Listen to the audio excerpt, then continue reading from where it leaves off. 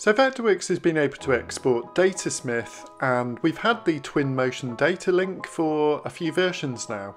Now there's some really nice improvements in the Datasmith direct link tool and this now has an auto sync option which immediately sends the changes across to Twinmotion from Vectorworks as you're working. So this streamlines the process as you're developing your designs. There's a few other big improvements as well. The Twinmotion Datasmith Direct Link can actually now export record data and IFC metadata. Now this doesn't come across to Unreal Engine, but not currently in Twinmotion yet, but it will be supported I'm sure in the future. We can also basically specify where we want to store the direct links. So that's a real benefit in that you can choose a custom path on your server or Dropbox for example. And finally, ambient point lights and spotlights will be exported in the Datasmith so that programs like Unreal Engine currently does support those, but hopefully Twinmotion will shortly in the future too.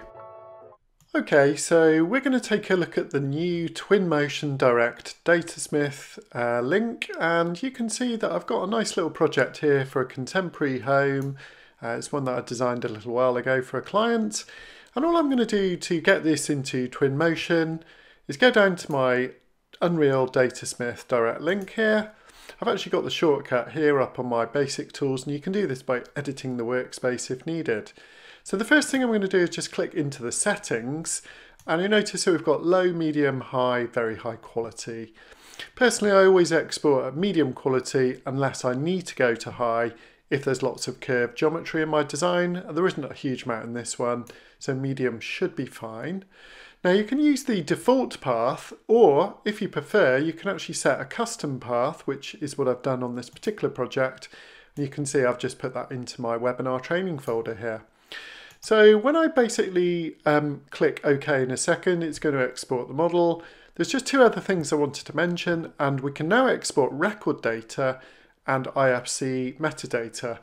However, does do bear in mind that Twinmotion doesn't yet support these. Um, I'm sure it will in the future, but it's just good to know that these are built into the export.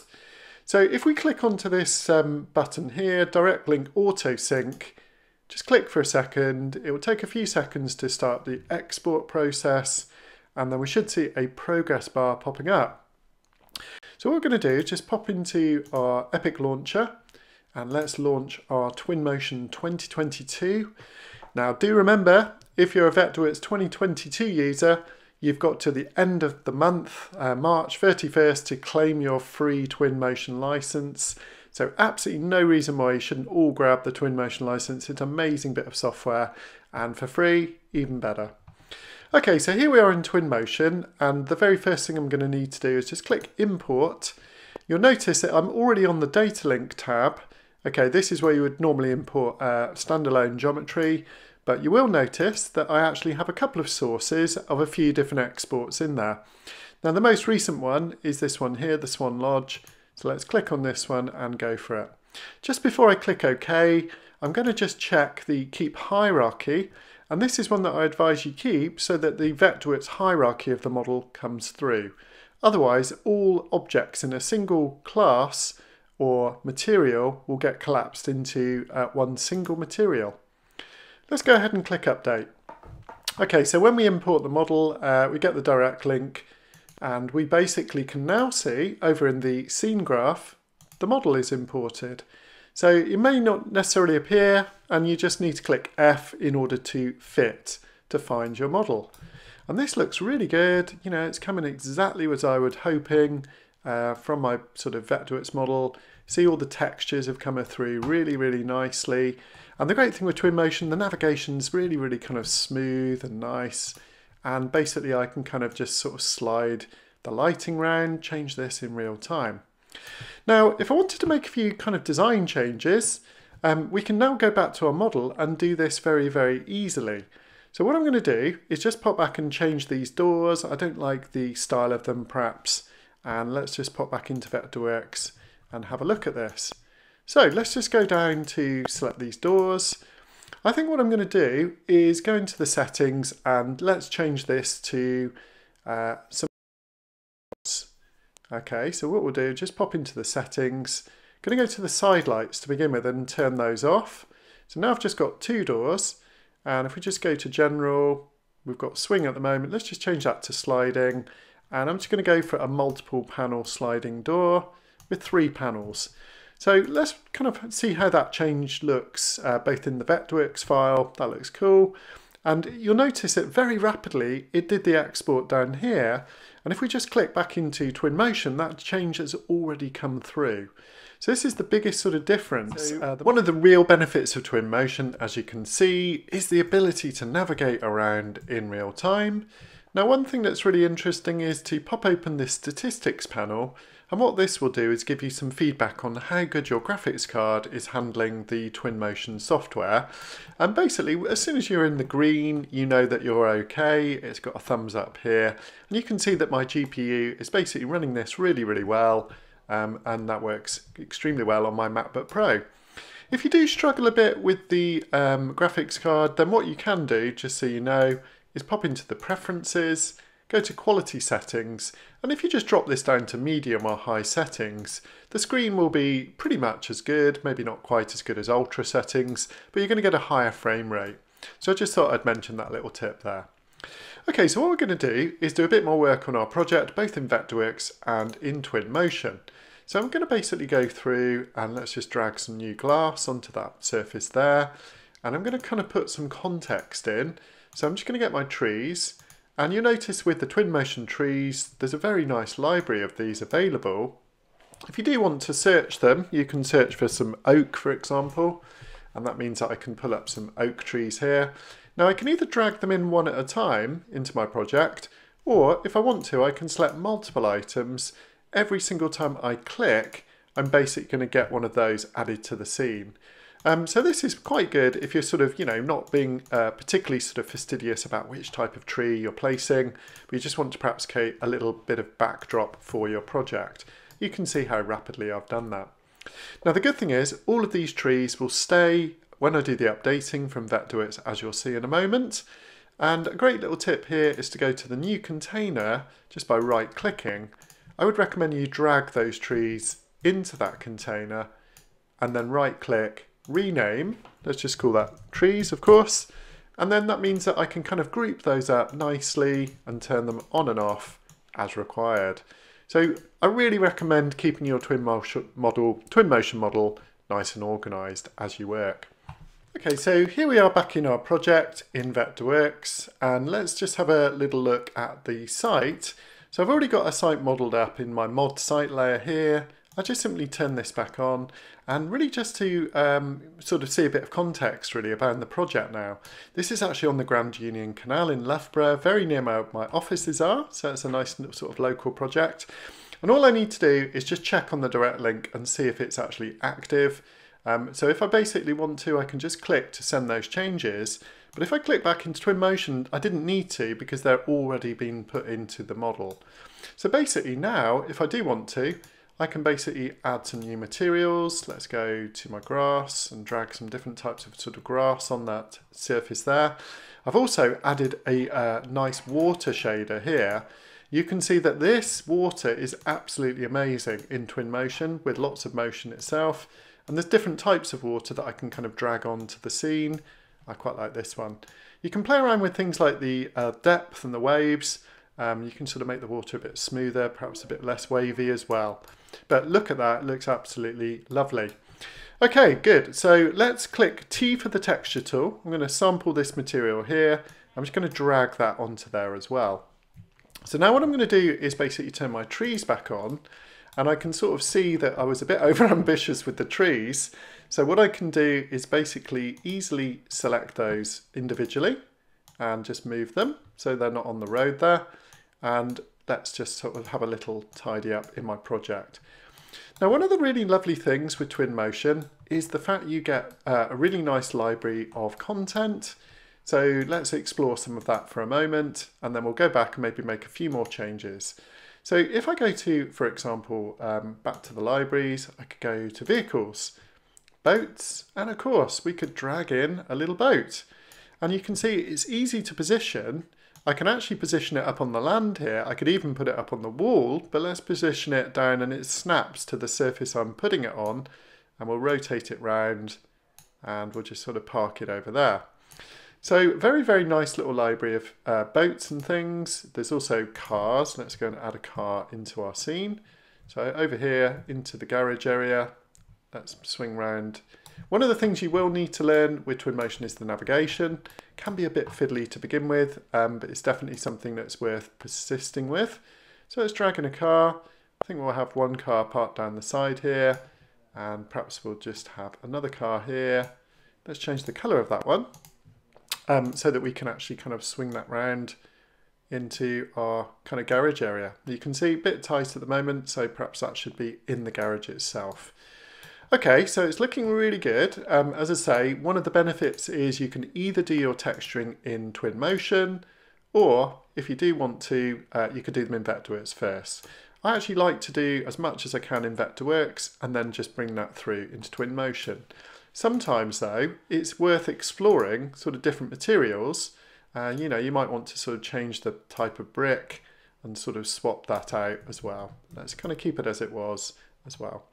One other factor is if you click T for the texture tool, you can actually change the coloration locally. So I can just darken that brick down. And this is something that I will re definitely recommend to you. Um, the textures from Vectorworks can come through a little bit light as well. Okay, so it's looking really, really good. Um, if I do want to, as I say, I can just keep hopping back into Vectorworks, keep making a few changes. Uh, so for example, let's just add in another object here for my pavement. Now I'm being a bit careful here because I don't want to go to top plan necessarily uh, because that would basically change the link. Okay, so let's do this. So once again, just check on the data link. You do sometimes need to refresh this in order for it to do the updating, but that's only mainly if you've switched across to Twinmotion itself. So those changes are going across. So I think all we need just to finish off this little project for this demonstration is a couple of people. Um, and things like the animated people are really, really wonderful. We can just drag these in. We can change what they're doing and sort of poses and so on as well. And let's have someone for her to have a little interaction with. So those are the uh, animated people, which are nice. There's also some groups of people. So again, you can add those into your scene quite rapidly. Let's add some of those guys down there by the canal. And finally, if you do want to use the posed humans, these are particularly good for still images because they're much higher quality. So things like that in Twinmotion are very, very straightforward to do. Okay, so we're going to go ahead and basically create a couple of images in Twinmotion now at this stage. So I'm just going to kind of pan back a bit. Um, it's this sort of basic image, but let's click create. Now, when I've created my first image, I can basically go in and start to fine tune. So I can fine tune things like the location and things like the time of day. That looks nice with those shadows coming across. If you've modeled the building sort of physically accurately, then the shadows will be realistic. But if you have faked the north, you can actually just spin that north angle around, um, maybe just to create a sort of particularly nice visual. And of course you can do sort of shadow studies in this way as well. So it's looking quite nice already. Um, I basically would like to create a few more images. So I'll just sort of whiz around to a few more points of view. And let's kind of get over this side here. Now, of course, at the moment, you can see a background, which is not the background we're looking for for this project by any means, certainly not Loughborough. So let's click onto More, go to Location, go to Background, and we will just swap that out. I normally go for either generic background or sometimes just a sort of generic countryside, just sort of tune that round, something a bit more neutral. Um, you get the idea, it looks quite nice.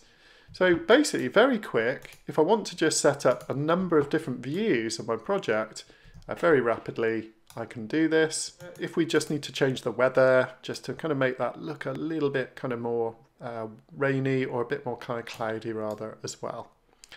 So you will notice that the frame rate drops down a bit sometimes when you change the weather. So that's because I'm in the ultra settings at the moment.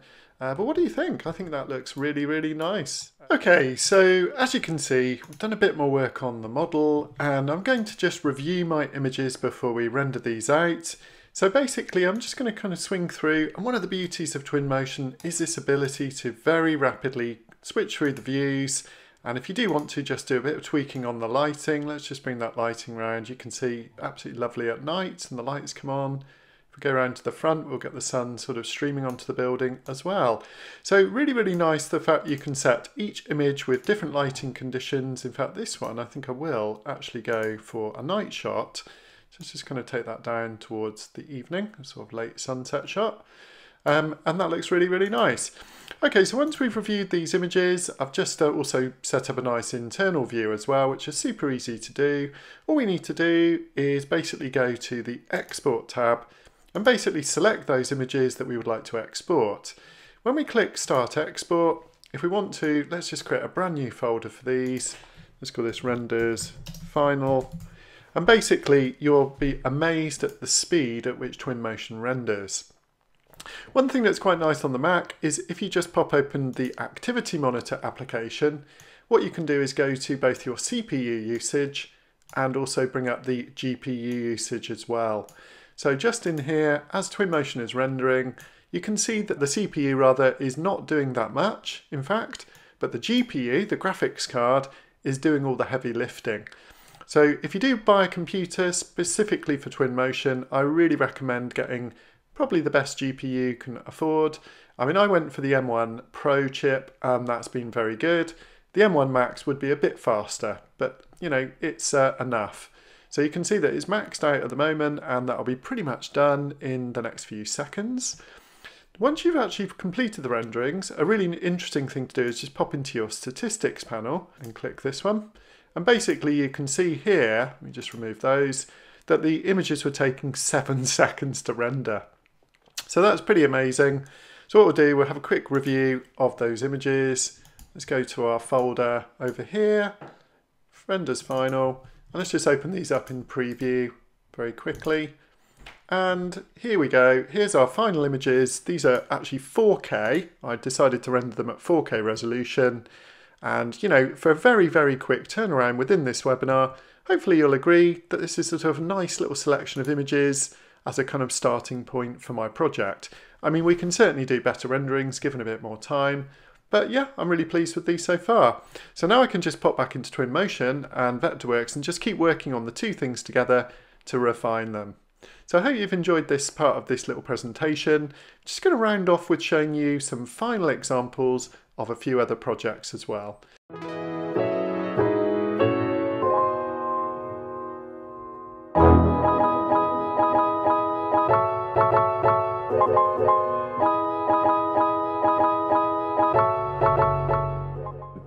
Now, I just wanted to take this opportunity to highlight my book, Revolutionise Your Rendering with Twinmotion. This is a beautiful 320 page, fully illustrated PDF and ebook that's available for you to buy in uh, on the store. And it features some of the best featured artists from all over the world. So if you want to learn more about Twinmotion, take a look at the book and I really hope you enjoy reading it. And thanks for watching.